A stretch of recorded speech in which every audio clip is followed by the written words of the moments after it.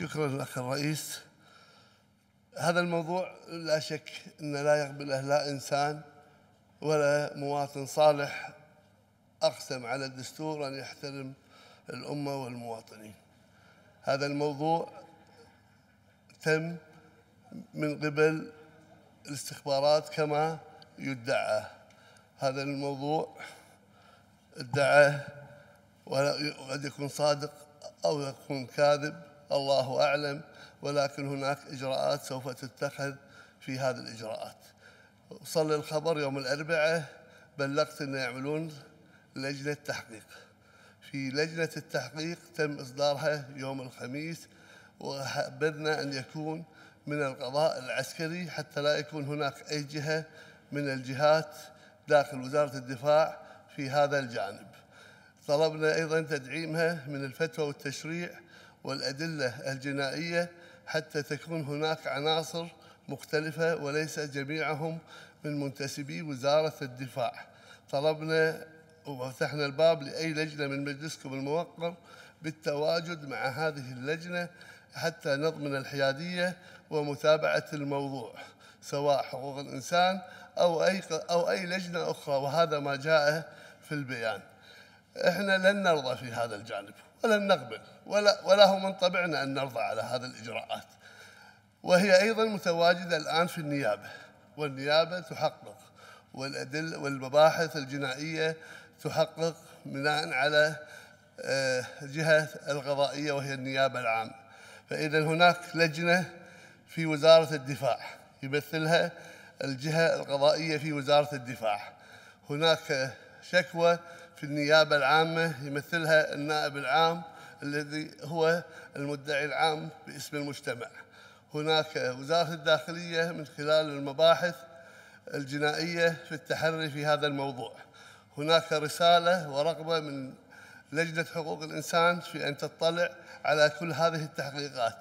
أنا أعتقد أخي الرئيس إذا كانت هذه القضية تمر بكل هذه القنوات لتكون شفافة ونعرف الحق ونعرف ما هو آه، من هو المتسبب وإذا كان ادعاء أو حقيقة ومن ثم من عمله غلط سيحاسب عليه سواء بالقانون العسكري أو القانون الجنائي من قبل النيابة العامة. أعتقد الأخ الرئيس هذه الإجراءات هي الإجراءات الشفافة. أنا لن أعرج لقضايا أنتم قاعد تشوفونها اليوم كلكم في المجتمع المدني بعد الحالة الصحية لسمو الأمير اللي ندعو الله سبحانه وتعالى له بالشفاء العاجل وأن يعين سمو ولي العهد في تحمل أمانته. نحن الآن أمام مرحلة نحتاج إلى العمل من أجل أن تستمر الكويت في طريقها الصحيح. وهذا واجب علينا كلنا كمواطنين أن نقوم فيه. أنا لا أزايد على صندوق الجيش ولم أزايد على صندوق الجيش. صندوق الجيش من بدأه المغفور له الشيخ ناصر صباح الأحمد.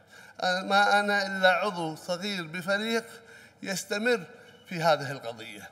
نعم ما هو صندوق الجيش ولكن هذه القضية من خلال صندوق الجيش وجدنا هناك قضيتين جانبيتين بعد الفتح ملفات في مكاتبنا الخارجية.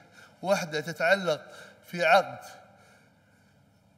مشوه ولديه عقد بديل في أجهزة حساسة ليس موجودة لدينا في أجهزة الاستخبارات وهذا ما بلغت فيه. والآخر يتعلق بأن هناك محاولات لتصعيد مشروبات كحولية في طائراتنا العسكرية. وهذا ما وجدنا فيها بعض الوثائق من خلال مكاتبنا العسكرية. ولذلك وجب علينا ليس قضية صندوق الجيش والمال العام والقضايا هذه ولكن هناك عقود مشوهة وأجهزة حساسة تصل إلى التجسس. وجدناها مدفوعة من صندوق الجيش ولا توجد هذه الأدوات داخل استخباراتنا. فلذلك الأجهزة تقوم بواجباتها من نفسها بناء على هذه المعلومات. وجدنا أن هناك أوامر بتركيب صناديق تحتوي على خمور في الطائرات العسكرية. علمنا أن بعضها عبر للكويت وبعضها كان هناك طيارين أبطال رفضوا أن تركب هذه الشحنات في طائراتهم. هذه قضايا ثانية جانبية ولكن تصل إلى مسؤوليتي كوزير ومسؤولية وزارة الدفاع أن يتم التحقيق فيها وهذا ما تم. فلا أريد أن أزايد على حد. ولا أنا سوبرمان. أنا عضو من, ف... من عرض حزمة تشتغل من أجل وطنها وتعمل من أجل وطنها. متى ما قدرت أقدم سأقدم ومتى ما قدرت أن لا أقدم سأطلب إعفائي ولله الحمد بنفس راضية. اليوم نحتاج إلى هدوء. قلتها في أول جلسة وأعيدها.